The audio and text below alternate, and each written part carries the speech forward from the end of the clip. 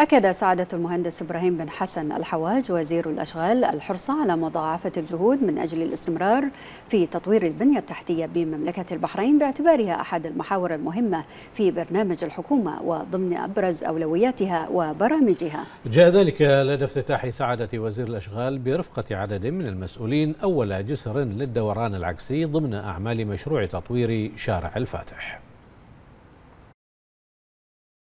لأول مرة في شبكة طرق مملكة البحرين ومواصلة للأعمال التطويرية لتوسعة شارع الفاتح افتتح أول جسر علوي للدوران العكسي بمسارين وذلك لتخفيف الحركة المرورية التي تشهدها المنطقة ولتمهيد الشارع كأحد الخطوط الرئيسة لمترو البحرين في المستقبل المنظور.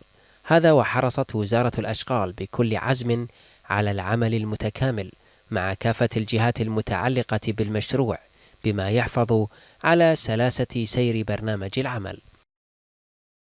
يأتي تنفيذ مشروع شارع الفاتح وتطويره كأحد المشاريع التنموية المهمة لتحسين الحركة المرورية في شبكة الطرق في البحرين. سعداء اليوم بافتتاح جزء مهم من هذا المشروع وهو جسر الدوران العكس العكسي اللي يأتي من شارع سمو الأمير سعود الفيصل. ويتجه جنوبا إلى منطقة فندق الخليج ومنطقة ميناء سلمان وأيضا منطقة العدلية مجمع 338 وأيضا متجه إلى شارع الشيخ دعيج هذا الجسر يأتي كتنفيذ لأول جسر للدوران العكسي في مملكة البحرين ويأتي ضمن المرحلة الأولى لتنفيذ هذا المشروع الحيوي والمهم.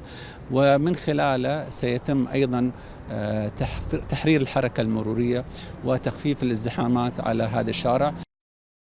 هذا المشروع الحيوي يعد من المشاريع الهامة التي جاءت تنفيذا لبرنامج الحكومة ومن شأنه أن يوفر بنية تحتية بمعايير عالية والمؤمنة للنمو الاقتصادي المستدام والملبية لاحتياجات المملكة الحالية والمستقبلية.